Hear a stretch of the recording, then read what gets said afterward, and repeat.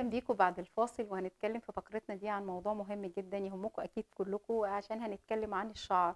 كل واحد بقى عنده بقى مشكلة مختلفة عن التانية بقى من تساقط من فراغات شعر أبيض أو تجاعيد كل ده هنعرفه من دكتور شيرين محي الدين آه، تجميل وليزر. أهلا بحضرتك يا دكتور. أهلا بيك. منوراني. طبعا مشاكل الشعر ما بتخلصش أكيد طبعاً. كل الناس عندها المشكلة آه الرئيسيه أكيد أساسي. طبعا أكيد برضو الرئيسية التساقط.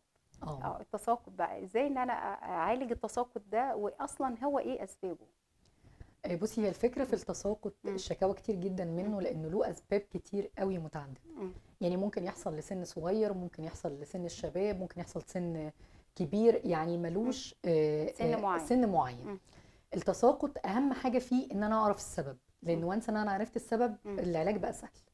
لكن إن أنا بس أسأل إيه العلاج التساقط أو أروح أشتري من صيدلية لسيونات أو أحط مواد طبيعية من غير ما اعالج السبب الرئيسي فأنا كده ما عالجتش التساقط أيوه. الفكرة فيه إن الشعر إحنا بنعامله على إنه أضعف عضو في جسم الإنسان مم. أضعف حاجة في جسمك هو شعرك مم. فبتتأثر بحاجات كتيرة جدا من غير ما انت تاخدي بالك. يعني سي مثلا آه، واحدة عندها أنيميا. وهي ما تعرفش. آه، نشاطها طبيعي بتقوم بحياتها طبيعية بتنزل شغلها بتروح جامعة عايشة حياة طبيعية جدا فما تعرفش إن هي عندها أنيميا ولكن تساقط في شعرها زيادة جدا آه أول ما تعمل تحليل الفريتين. وصورة الدم هتعرف إن عندها أنيميا. فهو عرض معروف مثلا للأنيميا. آه، الناس مثلا عندها مشاكل الثيرويد الغدة الدرقية. الغدة الدرقية دي بكل مشاكلها لازم لازم تأثر تأثر على الشعر لازم. مريض الغدة الدرقية بيبقى عارف. طبيعي إن شعره هيحصل فيه تساقط. آه، الناس اللي بيبقى stressed جدا. اللي يومها صعب عندها ضغوط كتير. آه، مش قادرة تعمل control. كتر الضغط برضو نفس الكلام أضعف حاجة في جسمك هتبتدي تتأثر بال stress ده وهو شعر مم. مم. آه، الاكتئاب آه، حاجات كتيرة جدا جدا كل ده الشعر بيتأثر بيه طبعا آه، طبعا الله يعني أنت ممكن تلاقي بنوتة صغيرة مم. شعرها بيقع شعرها بيقع. تلاقيها مثلا بتتضغط جدا في الامتحانات آه وقت المذاكرة ونهاية. ال term والحاجات دي مم. تلاقيها شعرها في إيديها آه ليه هي- تلاقي شعرها على. المخدة وكذا آه فال stress له دور قوي جدا في الحاجات دي. نقص ال vitamins يعني ممكن يكون عندي نقص vitamins معينة. أنا ما أعرفش. مش باخد آه، أكلي كوجبة صحية كاملة. ناقص منها شوية عناصر. العناصر دي مش واصلة لشعري بالتالي هيتاثر ويقع. كل الحاجات دي أنا هعرفها إزاي وأنا أنا واحدة عادية شعري بيقع. عايزة أعرف إيه السبب وأعالجه إزاي أيوة. لازم بلجأ للطبيب بتاعي المختص. وبيعرض عليا التحاليل المفروض أعملها. وبيطلع على طول في defect في تحليل معين ببتدي بقى أعالج النقطة دي. once حطيتي إيدك عليها وعالجتيها خلاص. الدنيا خلاص اتحلت. إيه- إيه، طيب ال- ال- التساقط ده ممكن يوصل للفراغات؟ طبعا. آه.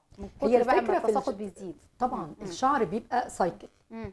يعني له lifestyle زي حياة البني آدم. كده بيبتدي طفل وبعدين يبقى شاب وبعدين يبقى شيخ وبعدين يموت أو. ينتهي بيه عمره. آه. الشعرة نفس الكلام. بتبتدي البصيله بتنبت. مم.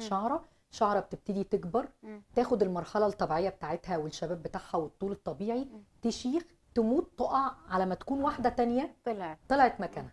لكن في الحالة المرضية مم. أنا دلوقتي الشعر بيقع قبل الميعاد الطبيعي بتاعه مم. وما بيطلعش شعره تعوضه. فبالتالي بعد شوية هتلاقي ان الشعر خف من مكان معين بدأ آه. يحصل فراغات. إمتى يحصل لي فراغات لما أنا أكون شايفة إن في شعري فيه تساقط. وأنا ما بلجأش العلاج آه بهمله بهمله مم. فسبت التساقط شهر في التاني في التالت مم. الموضوع زاد مم. بدأ يتحول لحالة كرونيك مزمنة مم. ويسيب لي بقى مكانه فراغات في ال- في الشعر طيب ودي ليها علاج؟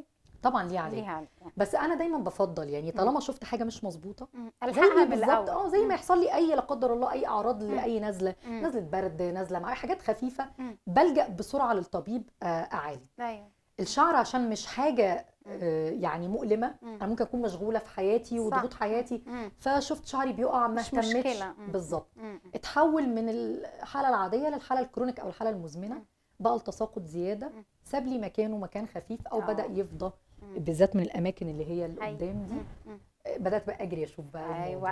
إحنا دايما بنجري في الأواخر طيب إمتى اللي بنقول ده صلع وراثي أو أو خلاص دي ده صلع مش هينفع يطلع فيه شعر بصي لا هو مش مش هينفع. هو طبعا مرتبط شوية بالأعمار. يعني كل ما كان السن صغير. كل ما كان سهولة إنه يحصل ريكفري. أفضل. ولكن الصلع الوراثي بنعرف إزاي إن في أماكن بتفضى من الشعر فراغات في الشعر آه، بالذات الأماكن دي. اللي هي بتبقى سحبه هنا كده أيوة. وشوية قدام. أكتر طبعا بكتير من الخلف بتبقى نتيجة للوراثة أو أنا عارفة إن والدتي كده أو والدي آه. كده. إزاي بعرف إنها وراثة إنها حصلت في سن صغير. يعني أنا في سن لسه مش سن إن شعري يخف أو يفضى. بدأ شعري يفضى لأن والدتي كانت كده أو والدي كان كده أو إخواتي أو عمي أو خالتي. حد جين وراثي في العيلة. آه، إحنا عندنا بنوصل لسن معين وبنبتدي الشعر يبقى فيه فوارق في الحتت. دي أو فراغات في الحتت دي دي ملهاش علاج لا لا لا ليها علاج ليها طبعا برضه، ليها آه. علاج طبعا كل حالات الشعر. النهارده. ليها علاج بقى ليه علاج حتى ال- ال- اللي هو الوراثي بقى ليه برضو علاج طبعاً، طبعاً. مم. الصلع الوراثي لأ. أول ما يبتدي يبان عندي وأنا عندي history. قبل كده إن في حد في العيلة عنده آه. صلع وراثي مم. ببتدي على طول ألجأ للطبيب بتاعي بيحصل في حقن دلوقتي ميزوثيرابي باشكاله حلو جداً. ال PRP المليانة بال growth factors مم. والحاجات دي مم. كل دي بتحفز البصيله بتاعت الشعر إنها. تبتدي تنبت شعر في المكان ده تاني. آه ما آه. يبقاش فيه صلع بقى آه. بس الفكرة كلها في الصلع الوراثي إن هو عشان آه، حاجة وراثية وجين وراثي. وحاجة مزمنة. فبنقول فيها إيه الحاجة اللي مش بيحبها الناس. إنها محتاجة علاج مستديم شوية آه آه. يعني إحنا نفضل طول عمرنا بناخد العلاج بنعمل كورس جلسات. وبعد كده بناخد ال home care بتاعنا أو العلاج في البيت. مدى الحياة بس بر- برضو أفضل من الصلع يعني ايا كان هو أكيد طبعاً. أفضل وكويس إن في دلوقتي علاج إن إحنا نعالج موضوع آه، الصلع طبعاً. ده طبعا آه. بالذات هو عند. ال female عند. السيدات. علاجه سهل يمكن عند الرجالة شوية.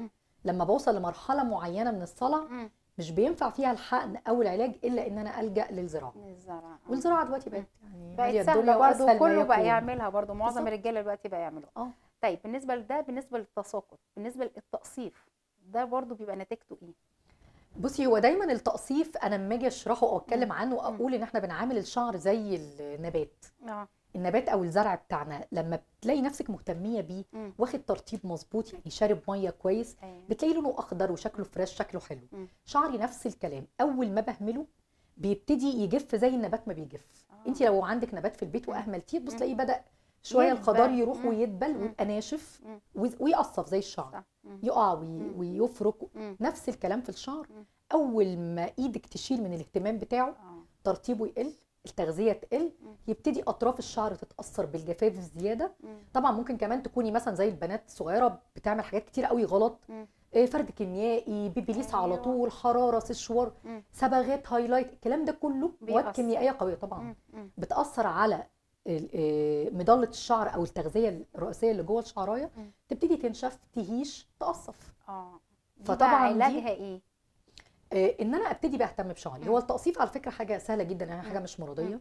سهل قوي وانس إن أنا بدأت أرطب شعري كويس قوي. أبتدي أشوف حمامات الكريم ال- اللي ليها قدرة على الترطيب عالية.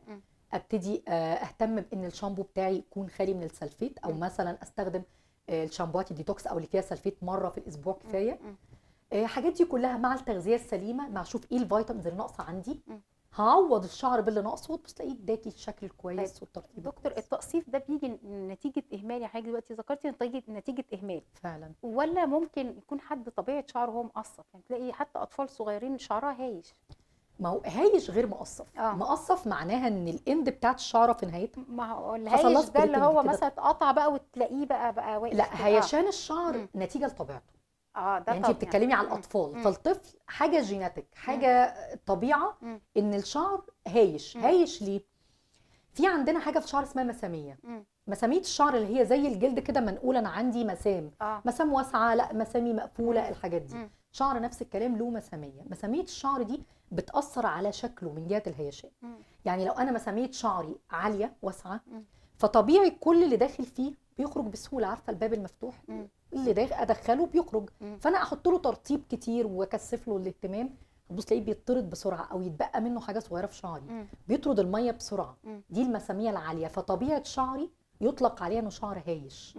عشان كده أنا ممكن أصنف طفلة إن شعرها هايش. آه. طب في الحالة دي هنعمل إيه؟ صح. هحتاج ترطيب ذو كثافة معينة. يعني ترطيب قوي. زي ما أكلمك على البشرة واقول لك. البشرة الجافة قوي دي محتاجة كريم غني. آه. فأنا محتاجة ترطيب تقيل يثبت شوية. في الشعر للهيشان مم. بالظبط. وليه علاج يعني تحسي إن الطفل اللي هايش ده أو حد شعره هايش ده بيفضل هايش على طول يعني ما هو لأن الأم. ما بتبقاش عارفة تصنفه فمش ع- بتقعد تجرب تجرب تستخدم مم. تشوف الإعلانات تجيب حاجة آه. تحط زيت آه. تحط الكلام ده. كله طبعا بالنسبة لإن إحنا بما إننا ذكرنا الأطفال والزيوت مم. ومعظم الأمهات بتعمل كده آه. فالزيوت مش من الحاجات المستحبة ابدا وخاصة للشعور الهايشه والله طبعا طب دي الزيوت معلومة حلوة جدا لأن معظمهم دلوقتي مثلا زيت أو أي زيت سمعت عنه أو أي. حاجة بتجيبه خلاص لأنها معتقدة إن أنا أحط الزيت مم. حاجة تقيلة آه فتنيم الشعر تنيم الشعر. وترطبه ودي. مش حقيقة وساعات بيجيبوا كريمات زي الفازلين كده شوية فتقول لك برضو عشان الشعرايه تنام أكتر دي برضو آه. من الحاجات اللي هي القاعدة بتاعتها فازلينية. أو فازلين. دي برضو مش من. الحاجات المستحب زي الواكس. حاجات التقيله زي الشمعية آه مش حاجات مستحبه ابدا هي في اعتقادها. إن ده هينيم تقيل آه. بقى فينيم آه هي حالة وقتية آه إن أنا بهدي هيشة مم. الشعر دي مم. دلوقتي مم. لكن بتزيد بعدين وبيحصل تقصف عالي جدا مم. وال particles الجزيئات نفسها بتاعت الزيوت والشموع والحاجات دي قوية وتقيلة آه. لو شعر بنتي ده خفيف أو أو هي لسه طفلة الشعر ما تكونش بصورة كاملة مم. مش هيتحمل يشيل الجزيئات دي فتلاقيه بيتساقط تقول لك الطفلة لسه ما عملتش حاجة في آه. شعرها ليه شعرها بيقع آه إنك أنت بتستخدمي لها material غلط يعني الزيوت والحاجات التقيلة دي بتسد المسام هي مش بتسد مش آه. هنقول عليها بتسد بت- المسام آه. ولكن بتبقى حمل على الشعر تقيلة فبتوقع الشعرايه بالظبط كده آه. ما يتحملش الشعر. إن هو. يشيلها فبالتالي بيقع. وهي ما فيهاش مواد الترطيب اللي زي ما الناس فاهمة. بالعكس هي تساعد على هيشان زيادة هي الموضوع إن الشعر ينام دي حالة وقتي. وقتية مم. زي الناس اللي بتحط تعمل فورمة فبتحط آه، سبراي مثبت. في الوقت ده بس مم. لكن في الآخر بتلاقي شعرها نشف. فهي ده اللي بيحصل لو أنا كأم أو بنصح أم مثلا إنها تستخدم زيت لشعر بنتها وعارفه الزيت ده آه، مصدره كويس آه، زيت معصور على البارد آه، آه، خامته كويسة. أنا ممكن أستخدمه بس مش أنيم بيه الشعر أستخدمه كتغذية. فأعمل بيه حمام زيت لفروة الراس. الفروة اللي هي الجلد نفسه هيمتص الجزء اللي هو عايزه. فيستفيد منه الشعر والباقي أنا في خلال ساعة بكون غسلته وشلته. لكن أنا أحطه على الشعر وأسيبه عشان أسرح كده. آه طيب زيوت زي إيه يا دكتور بقى؟ بما إننا ذكرنا مثلا حمام زيت أو حمام كريم الحاجات دي بتبقى زي إيه؟ أفضل الزيوت اللي ممكن أستخدمها لشعري. و- وأحسنها وأقواها وزيت الأرجان. الأرجان. أنا دايما ب recommend زيت الأرجان لكل الناس زيت الأرجان ال pure. من أفضل أنواع الزيوت اللي ممكن أستخدمها كحمام زيت قوي لشعري. زيت الجوجوبا. مم. ال pure. زيت الجوجوبا ده زيت خفيف يعني بنلاقي في مكوناته أو في تركيبه إنه مشابه جدا للزيت الطبيعي بتاع شعري إحنا آه كلنا عندنا الفروة بتفرز. مادة دهنيه مم. المادة دي في تكوينها. الرباني مشابه لزيت الجوجوبا فدايما زيت الجوجوبا ما يضر ما يضرش شعرك. ابدا مم. آه في زيوت كتير قوي زيت اللوز. آه زيت الزيتون الحاجات دي كلها بس ليست للدهان آه مش لدهان الشعر وإن أنا أسرح بيه شعر بنتي وتخرج ده ساعة لا. مثلا وأغسله بالظبط آه. أنا بدلك بيه فروة الراس كويس. آه ممكن أدفيه شوية في حمام مية دافية مش اسيبه يغلي أنا بدفيه بس. عشان الامتصاص بتاعه يبقى سريع في الجلد مم. وفي خلال ساعة بكتير بكون غسلته بالشامبو تماما. الش- الجلد خد اللي هو عايزه أيوه الزيادة دي كلها أنا شلتها. راحت. طيب في أي حاجة ممكن بقى أعمل سشوار وأنا حاطة الزيت اعمل له أي سخونية وصدمة كده فوطة مش, مش عارفة إيه. آه بالظبط يعني إحنا آه. بنعمل ميديا دافية آه. شوية بحيث الامتصاص. يعلى مم.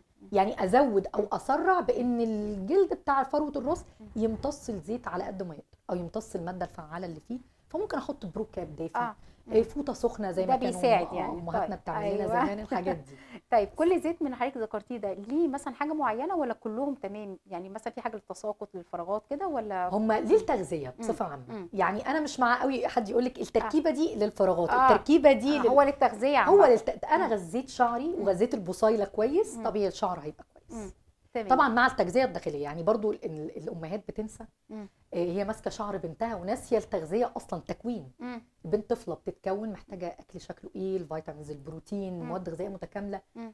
ما اهملش الجزئية دي إنها مهمة. أيوة. يعني لازم تغذية داخلية وخارجية. طبعا طب والوصفات بقى الطبيعية؟ مثلا جرجير. آه الجرجير إحنا عارفين ان هو حلو كأكل. طيب لو أنا عملته كخلطة على شعري أو الحاجات دي. فعلا الشعر بيستفيد منها ولا الحاجات دي بس كده؟ بصي هو الوصفات الطبيعية مش كلها بتبقى الاستفادة منها مم. عالية هي ممكن آه ما تعملش مشاكل مم. أو يعني مش زي حاجة chemical استخدمتها مم.